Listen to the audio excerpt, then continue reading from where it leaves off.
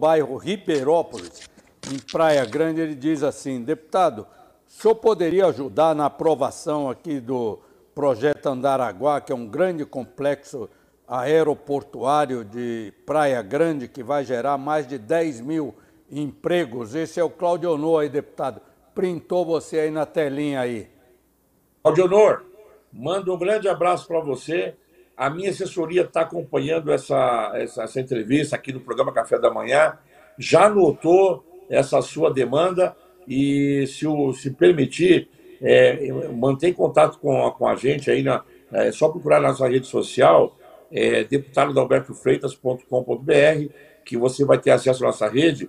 Pode mandar para nós lá que nós vamos, com satisfação, verificar o que, que é esse projeto de lei, como é que está a situação, para poder mandar para você aí, dar um, um retorno para você e mando também para o Zaidan para ele colocar aqui ao vivo quando tiver o próximo programa. Perfeito, deputado. Eu vou, eu vou mandar para o senhor depois a demanda.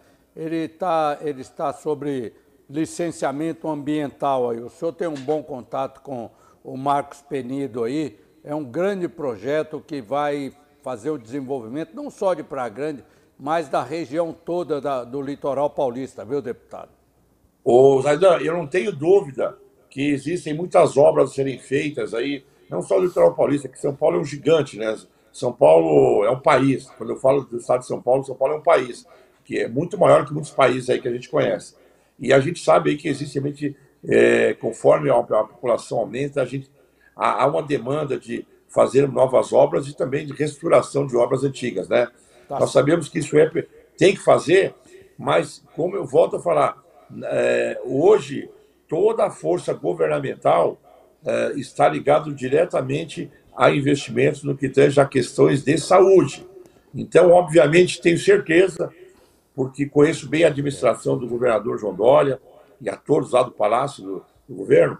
É, hoje, é, a, a, além de estar preocupado com essa questão da pandemia, para poder resolver logo essa questão, não estão aí medindo esforços para poder terminar, aí acabar logo até o final essa pandemia, vão estar dando toda assistência.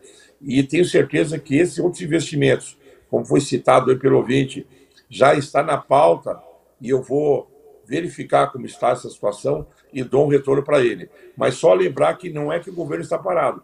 Hoje, hoje aqui no estado de São Paulo, nós temos aí, não temos nenhuma obra parada.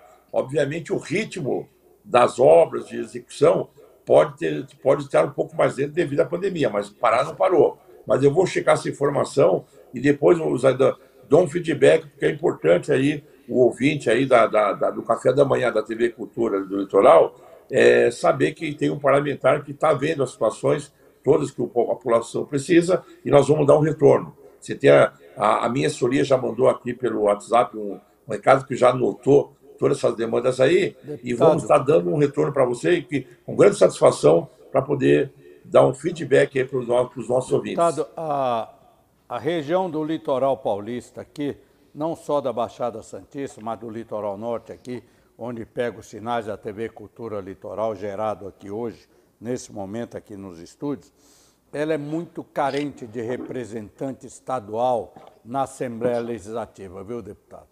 Muito carente mesmo.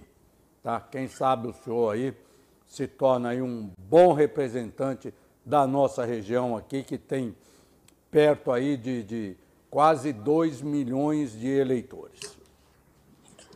Zaidan, olha, Zaidan, Oi, você é um grande amigo e eu já posso falar para você, toda, toda a demanda que tiver do litoral, de todo o pessoal aí, você pode contar comigo, que além de meu amigo, você é um, uma excelente pessoa aí da região. Não há uma pessoa aí que não conheça seu nome, da, da luta que você tem através aí do, do teu sistema aí de comunicação, de toda aí o litoral, a preocupação que você tem com a população.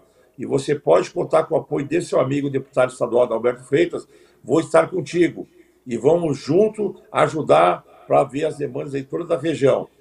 É, não tinha tido oportunidade antes de poder estar contigo aí no litoral, por conta até mesmo da pandemia.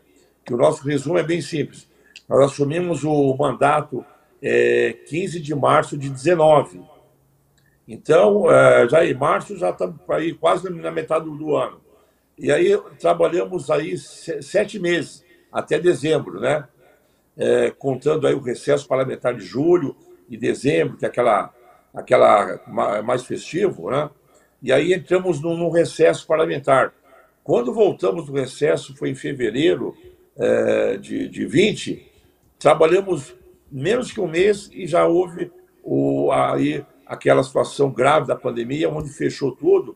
Então, nós também, é, como idade de risco, é, não, não conseguimos aí fazer um trabalho de visitar aí a cidade, visitar o interior, visitar o litoral, não tivemos essa oportunidade. Mas eu conheço bem, eu, deputado, eu conheço bem o senhor, eu sei que o senhor é uma pessoa muito dedicada, atenciosa, eu, eu, eu lhe conheci como uma pessoa que fazia o atendimento aos pensionistas e aos aposentados. Como deputado, o senhor não perdeu esse jeito do senhor de dar atenção às